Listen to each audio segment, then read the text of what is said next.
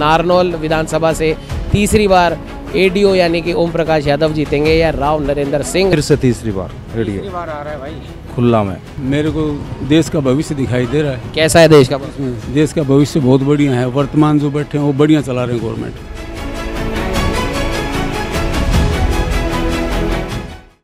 हरियाणा के नारनौल में इस समय हम नया बाज़ार में खड़े हैं। यहाँ पे कुछ जो दुकानदार हैं, उनसे भी जानने की कोशिश करेंगे क्या कुछ उनका रुझान है।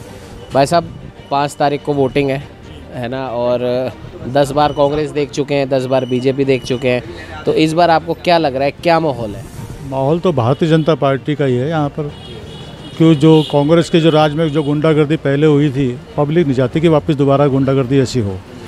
और इस शासन में हर काम ना पर्चे चली है और ना पैसा चला है इस इसीलिए जनता जो चाहती है भारतीय जनता पार्टी को पसंद करती है। और नारनौल की अगर हम विशेष तौर पे बात करें तो जैसे कई लोगों से हमारी सुबह भी बात हुई है उनमें से सब बोल रहे हैं कि जनता यहाँ की शायद बदलाव देखना चाह रही है।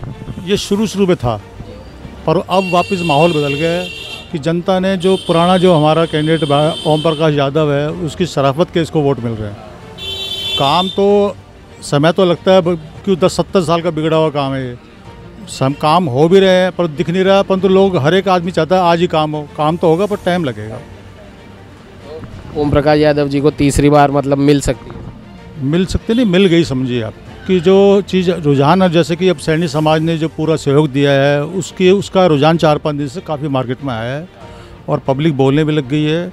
उसकी वजह से बाज़ार में हर एक आदमी एक को देख कर दूसरा बदलता है और वो बदलाव अगले पाँच तारीख को आपको दिख जाएगा।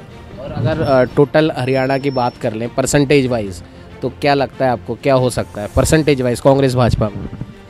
भाजपा ही सरकार बनाएगी, किसी तरह से मान लो सीटें कुछ दो चार कम भी आएगी तो हवा तो देखो, सब हाथ में लड़ता है, चाहे कांग्रेस का भी है, चाहे बीजेपी का भी है। सरकार भाजपा की बनेगी तो सेंटर में हमारी सरकार बैठी भाजपा की तो उसके हिसाब से हरियाणा में ज़्यादा काम होगा। मैं तो ये समझता हूँ कि अगर कांग्रेस को जिता दें तो फिर पैसा नहीं आएगा, या कुछ भी काम नहीं, जिससे हमारी सोच है। तो वो काम होना भी संभव नहीं है।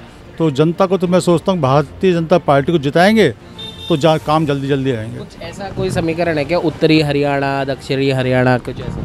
नहीं ऐसा कुछ नहीं है यहाँ पर। ऐसा कोई नहीं है ना कोई जाति वाति का यहाँ पर सब पार्टी के हिसाब से लड़ाई हो रही है।